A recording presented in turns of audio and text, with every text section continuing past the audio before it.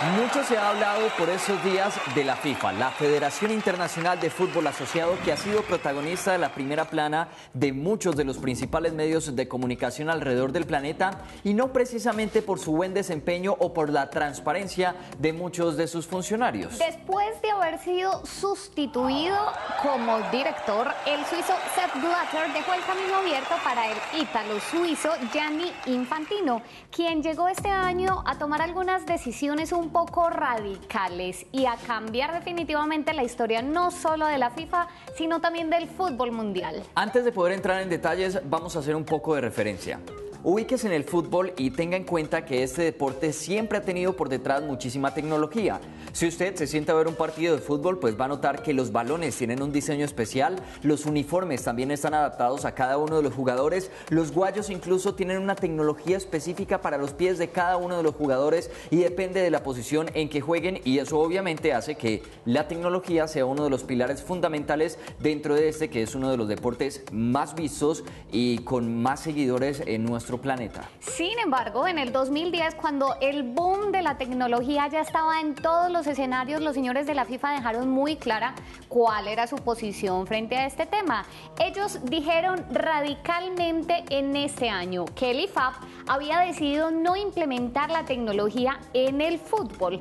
La universalidad del juego, las reglas, el componente humano que hacía parte también del deporte y, ¿por qué no?, la polémica que se generaba entre los espectadores que disfrutaban discutiendo si el árbitro había tenido razón o no, fueron algunas de las razones por las que la FIFA y el IFAB decidieron que cosas tecnológicas como el video, que es usado Sebas en muchos otros deportes, como el básquetbol, por ejemplo, no debían hacer parte del fútbol. Vale mencionar que el IFAB, por si usted no se ubica bien, es el International Football Association Board, que está integrado por cuatro asociaciones de fútbol británicas y también por la FIFA. Ellos son los que determinan las reglas de los principales países donde se juega el fútbol en nuestro planeta y también son los que deciden alrededor de, de cambios en el reglamento o la inclusión de nuevas tecnologías. Entremos un poquitico en detalles, que ahí es donde empieza todo el mundo como a decir, bueno, cómo se está moviendo este tema.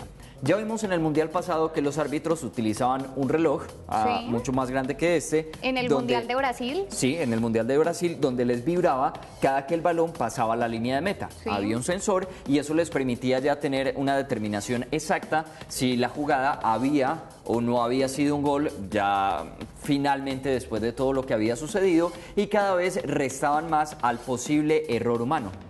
La cosa, Sebastián, es que lo humano a veces comete errores. Es muy difícil que un solo árbitro pueda tener el control absoluto y esté en el lugar indicado a la hora de ver cuál es el movimiento. Tanto que incluso algunos eh, países utilizan más o menos unos seis árbitros, buscando que todos los lugares de la cancha puedan estar eh, supervisados por un árbitro para saber cuándo hay un fuera de lugar, un penalti o cuándo efectivamente era gol de Yepes o no. Muchos dicen que lo bonito del fútbol es que hay error humano y que algunas personas se pueden equivocar en eso de ser eh, jueces y estar detrás de cada una de las jugadas, pero cuando se equivocan y eso no le conviene a nuestro país, así es que todo el mundo echa a llorar y a decir que la tecnología tiene que venir dentro del fútbol y le mentan la madre a los jugadores y al rival y al árbitro y a la gente de la FIFA y a todo el mundo. Y otros por el contrario, Sebas, piensan que lo que ha estado haciendo la FIFA durante todo todos estos años es dejar que el fútbol se quede un poco en el pasado,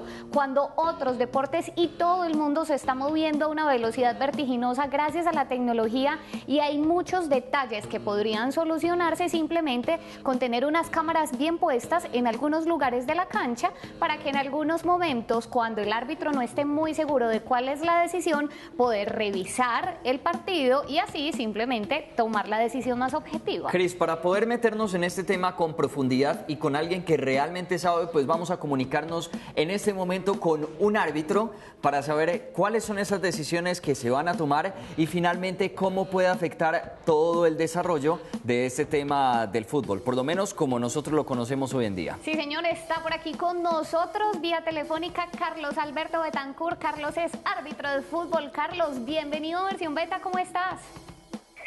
Muy buenas noches para ustedes y para todos los amables televidentes. Muy bien, muchas gracias. Bueno, Carlos, empecemos por esa decisión que tomó la FIFA. ¿Por qué todo el mundo está intrigado y cuál fue esa decisión que tiene a los medios como volcados a, revisarla y a, y a estarla compartiendo? Lo primero que tenemos que comentar es que la tecnología en el fútbol no es del todo nueva. Hay eventos en los cuales se viene hablando de tecnología en el fútbol y data, por ejemplo, desde 1954, cuando el primer mundial que se jugó en Suiza tuvo la oportunidad de ser televisado. El primer, la primera implementación real de tecnología en el fútbol data del año 1994, cuando los banderines se les, los banderines de los árbitros asistentes se dotó con una posibilidad de que eh, tuviera un sonido especial y al mismo tiempo el árbitro pudiera estar recibiendo unas señales. Eran banderines tipo VIP y adicionalmente en ese mismo año aparecieron los, los tableros electrónicos para dar una buena orientación a todos los televidentes, a todos los aficionados y desde luego pues a los equipos eh, respecto a los tiempos de, de mm, adición al final del periodo primero o del segundo tiempo, lo mismo que las sustituciones. Eh, en estos momentos eh, FIFA tiene un interés importante y es que hayan decisiones arbitrales más justas. Y por eso, a partir del año 2017 y durante dos años, van a hacer un ensayo sobre el uso de los videos o el uso del video, pues concretamente, para algunas decisiones arbitrales. Tema que es en general bien visto y hay una gran expectativa por los resultados de lo que ello pueda significar. Carlos, incluso ellos dicen en sus comunicados que va a ser una especie de experimentación, como tú dices, en el 2017 y que si ven que quita mucho tiempo, que se enreda, que no funciona, deciden que no va el video como ayuda tecnológica en los partidos. Correcto, sí. De hecho, FIFA está asumiendo, el BOAR concretamente está asumiendo este, este experimento con la mayor seriedad. Tal es el caso de que van a contratar una universidad en Europa que se va a encargar de adelantar los estudios. Va a haber un equipo técnico eh, especial contratado por FIFA para hacer todo este trabajo. Inicialmente se va a hacer a puerta cerrada, digámoslo de esa manera, y lenta y paulatinamente se va a ir abriendo a algunas ligas que desde ya han ofrecido o se han mostrado interesadas pues de, participar en el proyecto.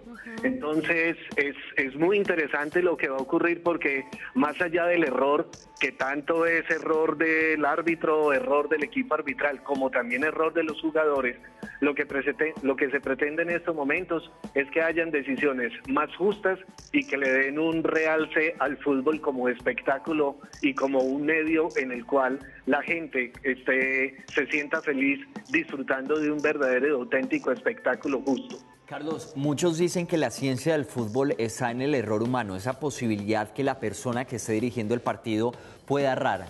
Carlos, ¿Vos qué pensás al respecto? ¿Es bueno la inclusión del video dentro de algunas jugadas específicas o este tema es mejor dejárselo a esa mística que tiene el error humano?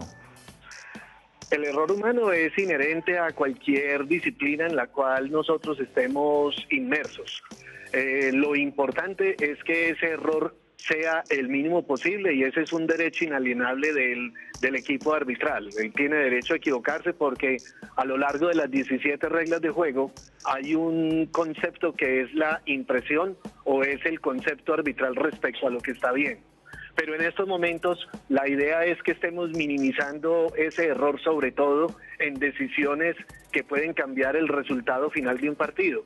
Figúrese que, por ejemplo, por un error arbitral, por un error humano, se pueda definir el campeón de toda una competencia durante todo un año. Y de pronto, pues sería como un poco lamentable que en, los hombros, en la cabeza de una persona se arrastre por mucho tiempo el lastre o se tenga el estigma de que por una mala decisión eh, implicó que toda una sociedad, una comunidad o incluso un país eh, se pierda de, de disfrutar un resultado que de otra manera hubiese sido distinto. Bueno, vamos a estar muy atentos, Carlos, entonces para que nos cuentes y nos sigas contando tú cómo se va moviendo esta experimentación que piensa hacer la FIFA. Así brevemente, Carlos, ¿tú estás de acuerdo? ¿Te gusta? ¿Te parece una buena decisión para tu profesión? Creo que es correcta y definitivamente en los próximos cinco años todos vamos a estar viendo el fútbol de una manera muy distinta como la vemos hoy. Seguro que sí, Carlos. Mil gracias por acompañarnos hoy en versión beta. un placer y muchas gracias por la invitación. Pero no solo de cambios en el fútbol y tecnología que entra él, vamos a hablar hoy en versión beta. Bienvenidos, estos son nuestros titulares de hoy. Hoy, en versión beta, en tiempos en los que el cerebro no tiene límites y al parecer las computadoras tampoco veremos. ¿Lograremos algún día conectar la mente con las computadoras? Un neurólogo nos resolverá nuestras dudas en vivo y en directo. Conocimos una plataforma web para saber a qué sitios públicos se pueden llevar nuestras mascotas. Y en lo más viral celebraremos el Mario Day y el Chuck Norris Day. Además, recuerda que estamos en redes sociales con ustedes en Facebook, versión beta TV y en Twitter, arroba versión beta TV. Hoy vamos a hablar de un tema bastante polémico, Sebastián, que se llama la inmortalidad digital. ¿A ti te gustaría? científico, pero no exacto y especulativo. Especulativo, esa palabra me gusta. ¿A ti te gustaría que una vez que tú te mueras, un computador pueda pensar como tú, tuitear como tú, o que incluso tu familia pueda tener un robot? al que se le pone una memoria con la que, que, tiene tu información y hacer una especie de clon de Sebastián? Sería muy miedoso, ¿no? A mí también me da un poco de miedo. O sea, pero igual, si es con vos y estás muy cansona, pues te desconectamos y ya no. No se mueva porque ya le contamos más de inmortalidad digital aquí en versión beta.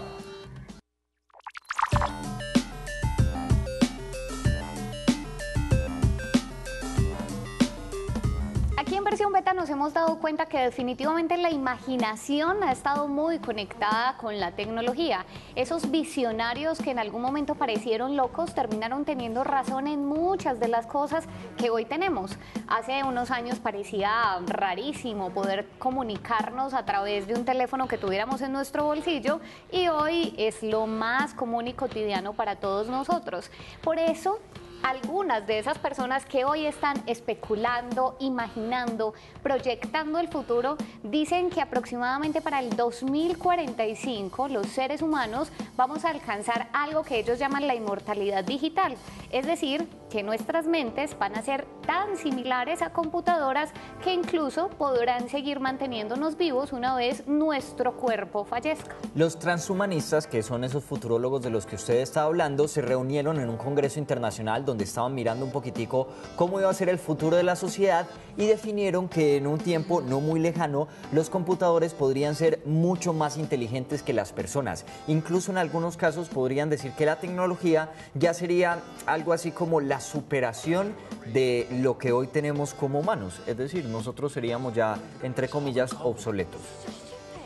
De todas formas, no es que la cosa sea tan fácil ni tan sencilla. Nuestro cerebro tiene tantas conexiones neuronales como estrellas podemos ver nosotros en el cielo, así que el trabajo va a ser arduo y largo. Sin embargo, Sebas, los futurólogos también dicen que es muy posible que en un futuro los robots tengan la misma sensibilidad, la misma complejidad de nuestra personalidad y que se parezcan tanto a nosotros que seamos nosotros los que funcionemos como una máquina. ¿Sabes qué? Hay una teoría que dice que en el año 2045 se podrían hacer como los primeros desarrollos para que podamos tener máquinas que sean mucho más inteligentes o mucho más tesas que nosotros.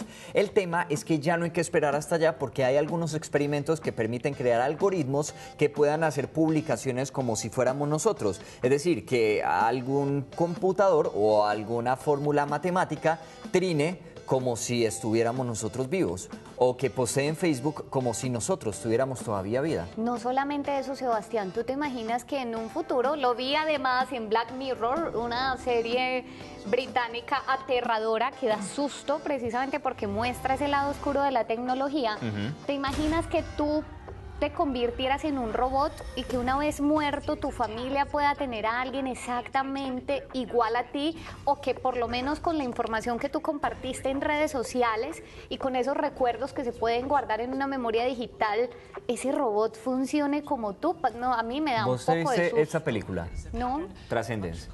no, no me la vi. Bueno, siquiera. Pero igual, el concepto de la película es muy bueno y de lo que estás hablando es precisamente de lo que habla esta película. Un científico súper teso que tiene una fórmula súper tesa, eh, le dan, eh, lo impactan con una bala, con un arma de fuego. Y de ahí pasa un proceso en el hospital donde se va degenerando y finalmente llega a un punto donde hay que descargar su cerebro a una máquina hacen todo ese proceso, le descargan el cerebro a una máquina y cobra vida propia y ya ahí es donde la película se vuelve un bodrio, pero antes de ese momento, pues No más- el no concepto es muy bueno. No más spoiler, por Al favor. final todos mueren, es lo importante de la película y llegan los extraterrestres. Yo insisto y creo que utilizaste ahorita la palabra correcta y nuestro invitado dice que es la palabra correcta. Eso es un poco de especulación todavía. Ah, no podemos. Hombre, traemos a nuestro invitado Sebastián para que hablemos precisamente de qué tan posible, qué tan probable, qué tan viable y qué tan cerca estamos de este futuro tecnológico. Está con nosotros David Pineda, él es neurólogo y jefe de sección de neurología de la Universidad de Antioquia. David. David bienvenido. Bienvenido a Versión Beta. ¿Cómo estás? ¿Cómo Sebastián. David? Mucho ¿Cómo va todo? Cristina. Bien, bien. Siéntate, Siéntate. estás en tu casa. Gracias. David, hablemos primero un poquito de la inmortalidad. ¿Por qué será que a los seres humanos nos interesa, nos apasiona tanto ese tema de la inmortalidad?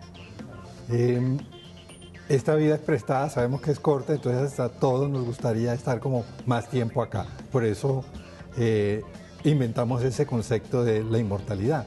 O sea, queremos permanecer y hacemos miles de cosas para tratar de permanecer Iu. y de estar siempre.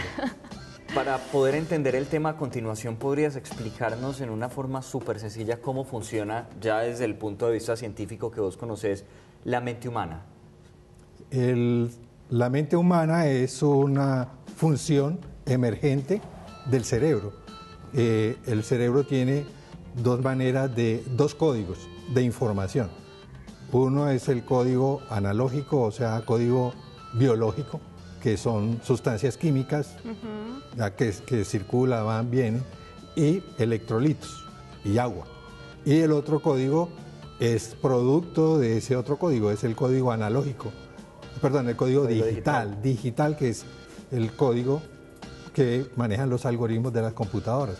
O sea, la computadora es una analogía del funcionamiento eléctrico del cerebro, del cerebro, o sea, electromagnético, porque todo campo eléctrico tiene un campo magnético. David, hablemos de la información y pensemos, ¿es posible, es fácil pensar que esa información que almacenamos en nuestro cerebro, que procesamos además, que convertimos en imágenes psíquicas, eso es fácil que lo haga un computador también? De, pues de hecho, el- el computador está haciendo eso, está eh, convirtiendo eh, información digital en un montón de cosas. Ajá. Eh, incluso en esto que está pasando aquí, que no puedan ver en otro lugar.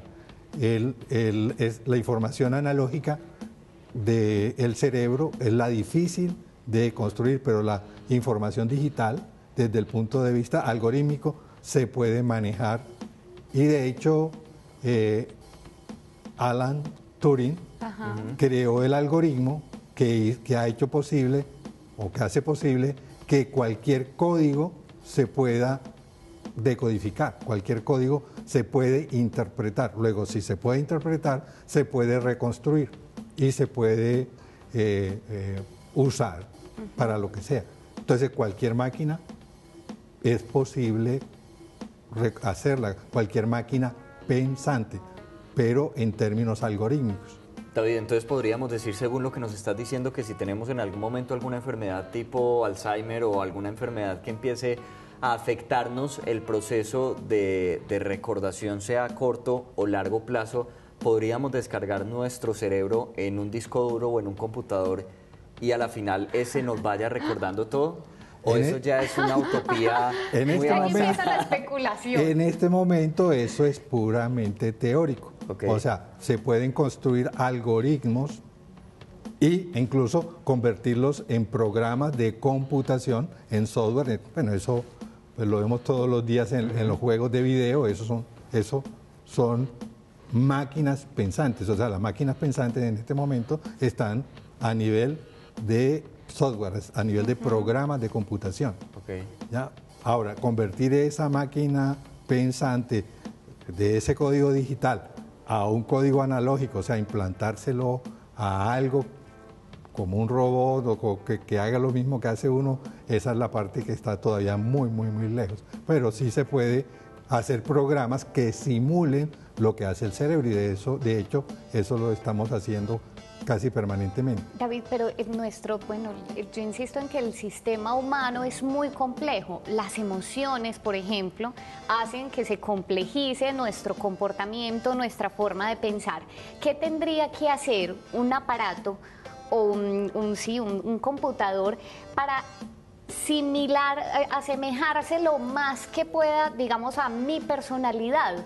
Si yo quisiera que un computador, una vez que yo me muera, escriba en Facebook como yo, escriba un tweet como yo, de la forma en la que yo lo haría, con las palabras que yo lo haría, ¿qué tendría que hacer para parecerse y para asemejarse a mí?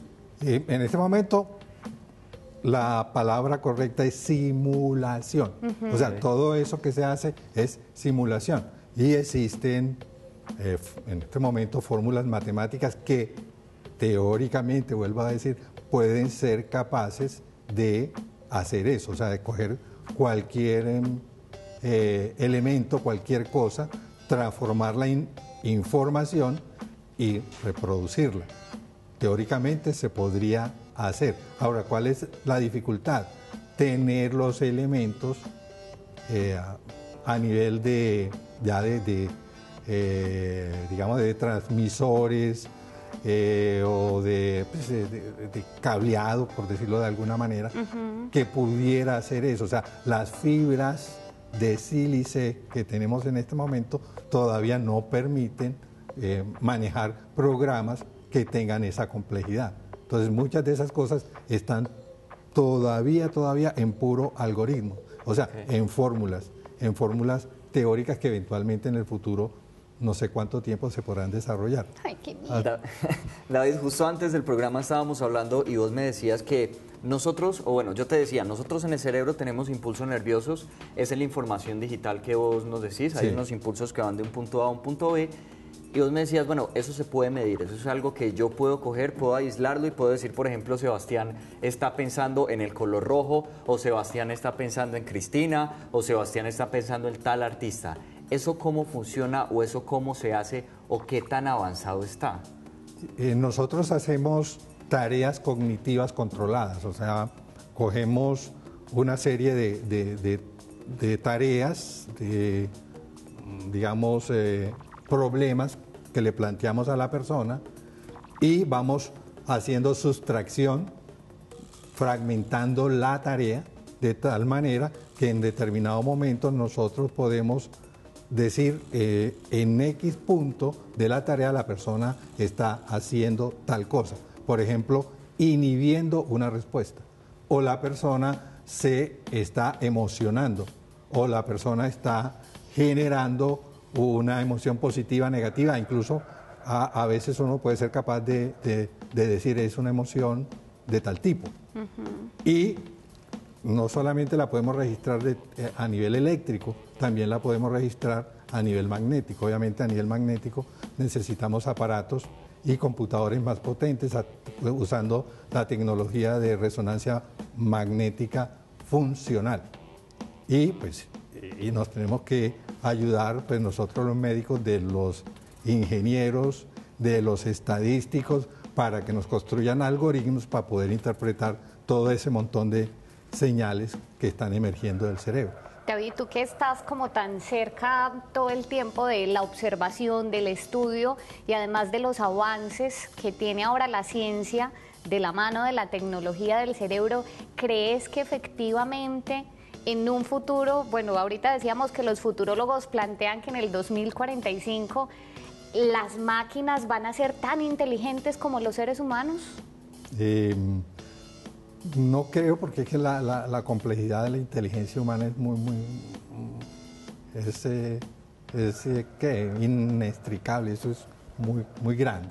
Nosotros estamos eh, trabajando en procesos mínimos, en procesos chiquiticos, y eso es lo que registramos y eso es lo que reconstruimos.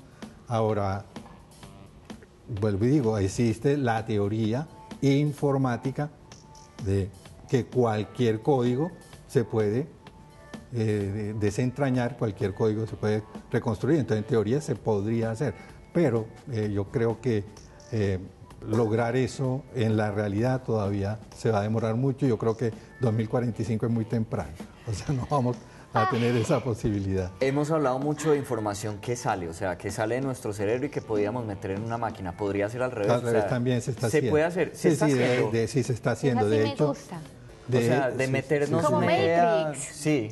Aprender eh, karate. Pues algo. Obviamente son, es información más de tipo. Ah, bueno, es, usar unos principios de, la actividad eléctrica del cerebro eh, que, tienen que ver de la manera como funcionan las ondas, eh, la fase de las ondas, que se llama coherencia, o sea, utilizar ondas que vayan en la misma fase, o las ondas que, que tengan la misma frecuencia, eso se llama sincronía.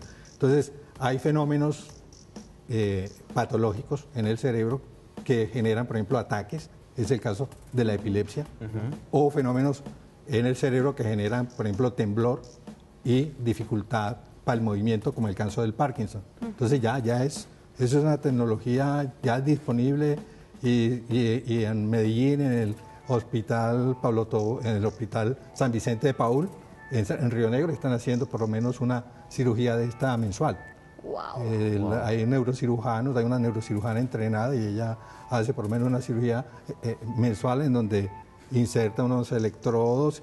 Eh, el equipo nuestro participa con algunos de estos doctores en neurociencias para escuchar el lenguaje de las neuronas de determinados núcleos del cerebro y llegar exactamente al punto donde se coloca el electrodo y se calcula la frecuencia en que debe estar ese marcapaso externo que se coloca por acá, debajo de la piel, para controlar el temblor y mejorar la fluidez del movimiento en Parkinson. Y lo mismo se está haciendo ya en epilepsia. O sea, eh, hay unos aparatos eh, detectores de ondas cerebrales que son capaces de predecir, digamos, con unos... Ah, minutos antes o con unos segundos antes de que empiece la descarga que va a originar un ataque epiléptico y eh, desincronizar esa, esa descarga y quitar el ataque epiléptico, especialmente en epilepsias eh, que no responden a medicamentos. Hay muchas epilepsias que no responden a medicamentos y, entonces se pueden eh, usar este tipo de tecnología. O sea, eh, eh, se ha avanzado, se ha avanzado. No es muy difícil, David, poner dispositivos electrónicos en el cerebro.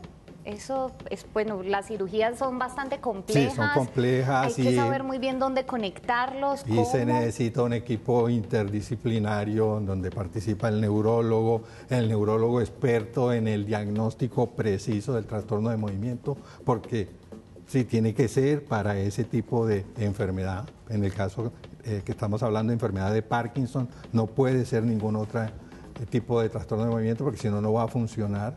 Está el, el doctor en neurociencias que se ha entrenado en detectar cuál es el sonido que produce cada neurona de cada núcleo del cerebro, ya o, escucha la voz de esas neuronas y dice aquí ya estamos y entonces entra el neurocirujano ya con sus aparatos de cirugía estereotáxica a llegar de manera exacta a ese mismo sitio y colocar ahí el electrodo. Bueno, y uno podría pensar que se puede instalar una memoria para guardar memorias, recuerdos. Pues eso, es, es, una, eh, pues una posibilidad en el futuro y que pudiera, pudieras servir, por ejemplo, para tratar eh, enfermedad de Alzheimer. En este momento la enfermedad de Alzheimer es uno de los retos grandes que tenemos porque, porque hasta este momento no tenemos la forma de curar Eh, eh, acá en, el grupo de neurociencia de la Universidad de Antioquia, el doctor López está trabajando en una, algo, una sustancia que bloquea, una sustancia tóxica que genera el Alzheimer. Pero lo ideal sería tener un dispositivo que reemplazara los circuitos neuronales que se murieron. Tener una copia de las memorias para... Ay, Dios mío. Si eso se pudiera hacer. Pero en este momento estamos trabajando más en, la parte analógica, o sea, sustituir la sustancia que se está dañando.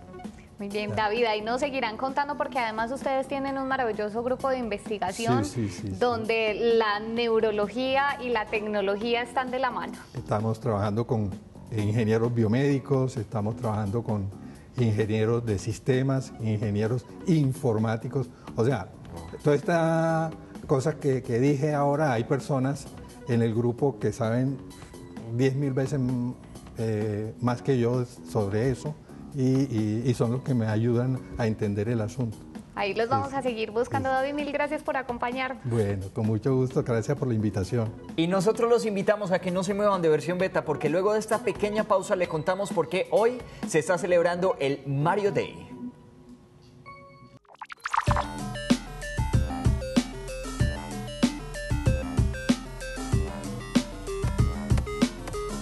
Fontanero más querido de los juegos de video y nuestro queridísimo Chuck Norris, el que puede con todo, hacen parte de lo más viral hoy en versión beta.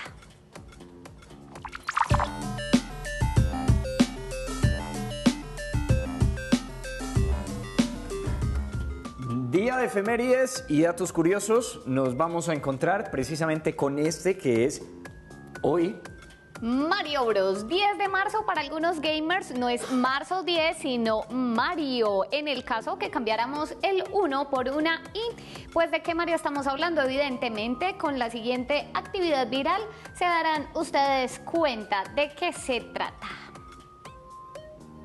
Desde el año pasado, la gente de Nintendo está celebrando con el numeral MAR 10 Day la similitud que tiene esta fecha en su forma de escribirla con lo que nosotros veríamos en redes sociales y en esto que precisamente fue el video que popularizó esta fecha.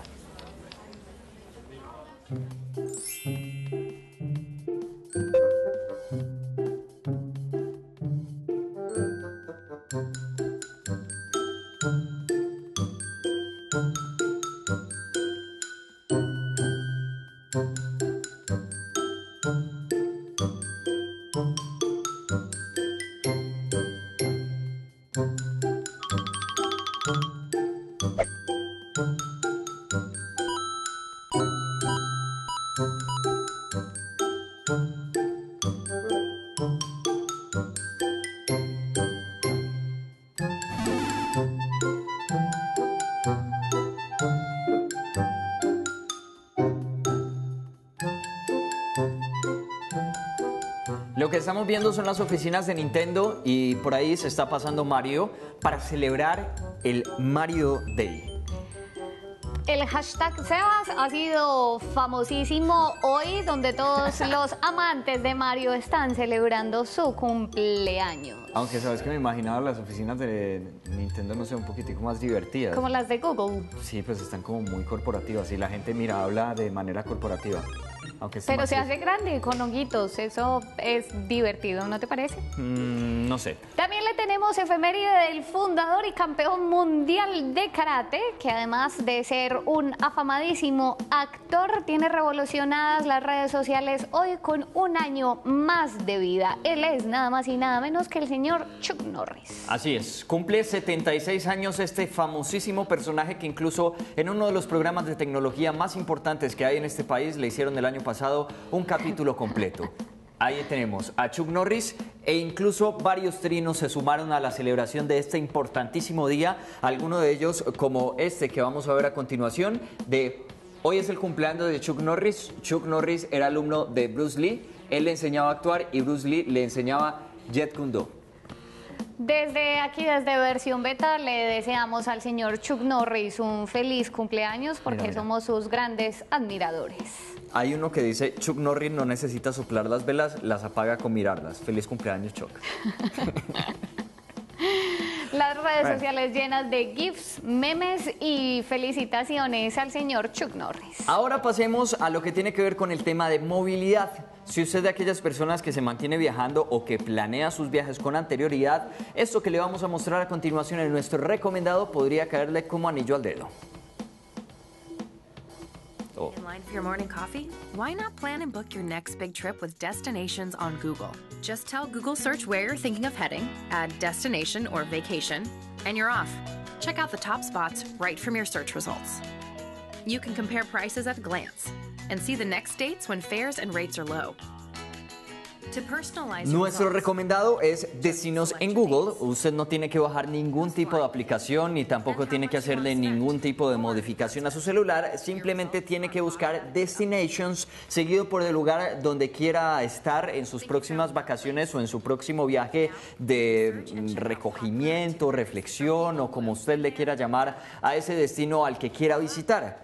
Ahí usted puede encontrar opciones de transporte, como estamos viendo, opciones de hoteles, cuáles serían los días en que le sale más caro o más barato la tarifa de su avión y finalmente también puede hacer reservas con las diferentes opciones que le dan a través de este buscador. Ya con Cristina estamos mirando. Sí, estoy, mirando, sí, estoy aquí tratando de buscar, pero es que mi celular está un poco lento.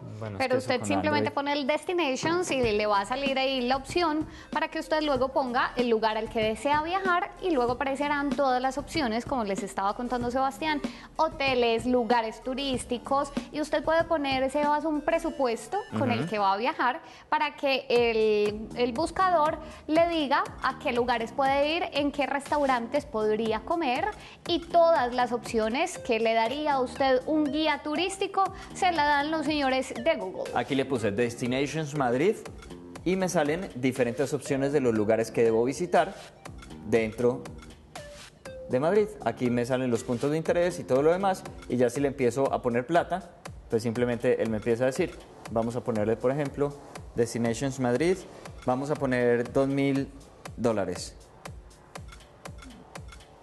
2.000 dólares.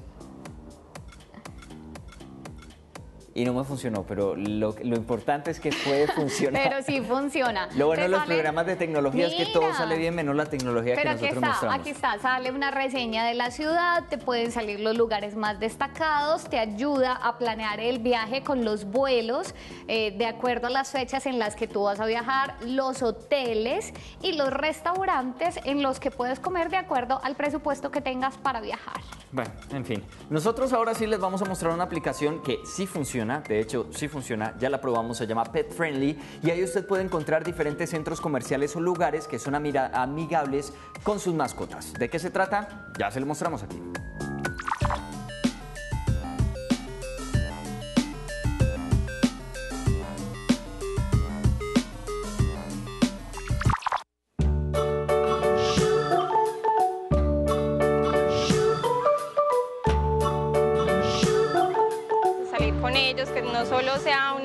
Dentro de la casa para compartir con ellos, sino que por fuera tengamos un espacio para que ellos socialicen con otros perros, con las otras personas y se relajen también. Encontrar un lugar ha sido lo más difícil, un lugar que nos deben estar con ellos tranquilos, pues que sea un lugar que de verdad les gusten las mascotas, ha sido lo difícil.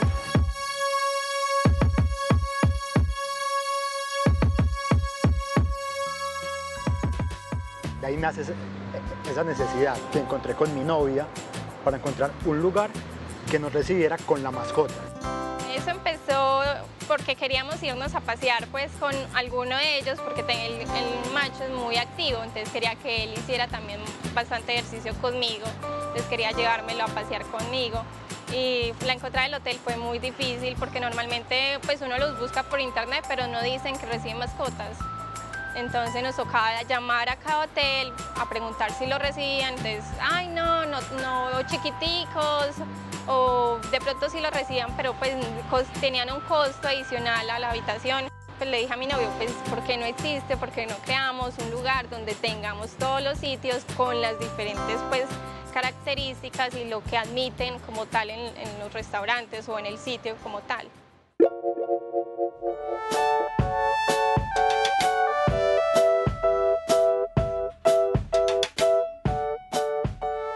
De ahí nace la idea pues, de hacer un proyecto desde lo digital que pueda eh, cubrir la necesidad que ya habíamos visto. Entonces uno entra y está como la explicación de lo que es el sitio.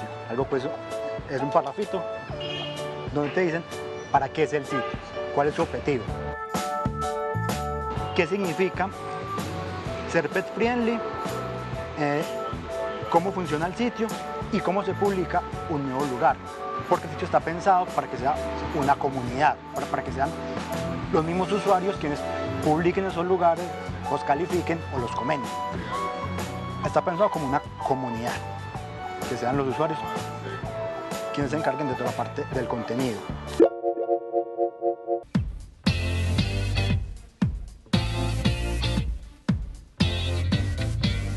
Ya podemos encontrar el listado de las categorías en las que se distribuyen los lugares que se pueden encontrar acá. Vemos desde comercios, lugares al aire libre, centros comerciales, lugares especializados para las mascotas, hoteles y sitios de comidas y bebidas. Y al final, un mapa con toda la geolocalización de todos los lugares. Con Pet Friendly, eh, eso, eso, cambia, pues eso ha, ha, cambiado un montón, incluso para nosotros. Pues hay lugares que yo veo que referencia y digo, ay, mira, tenemos que ir, que no conocíamos. Entonces es muy bacano porque al mismo tiempo nosotros también estamos creciendo, digamos, en conocimiento gracias a las personas que están metiendo lugares.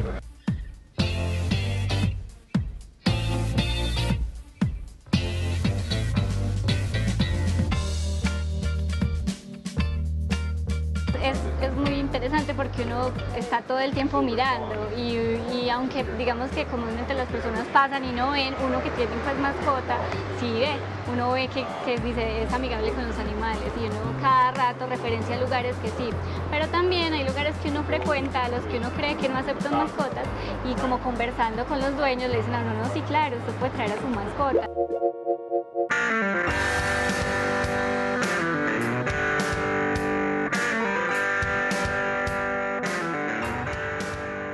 Digamos que a lo que le apunta Pet Friendly es que también eh, uno pueda saber en qué lugares eh, tratan bien a su mascota, que la atención no va más allá de, de, de, uno que va a comer o a tomarse algo, sino que también le da galletica a la mascota, la mascota está a gusto, no simplemente la dejan estar dentro del lugar.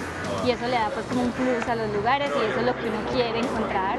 Es que en la plataforma uno puede encontrar también otro tipo de servicios que no son lugares físicos, sino servicios para las mascotas. Entonces, por ejemplo, cupcakes para los, para los perritos o un servicio de fiesta para mascotas, pues todas las, un paseador, eh, veterinarias y, todo ese tipo de servicios pues que también hacen pues a uno, son útiles pues como dueño de una mascota.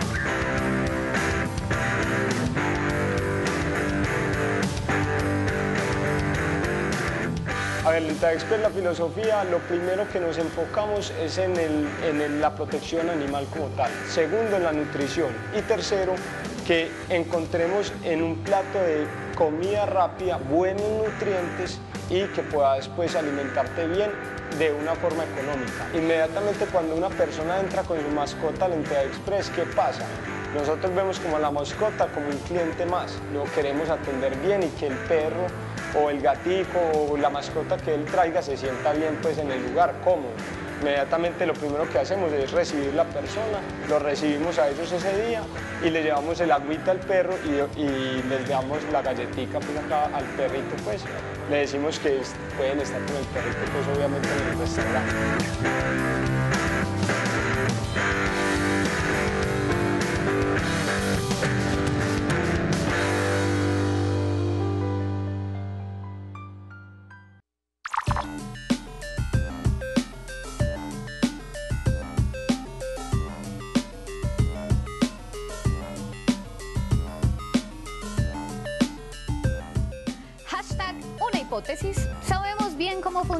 El cerebro, aún así no vamos a poder imitarlo. Este es un tuit de arroba haga Jorge.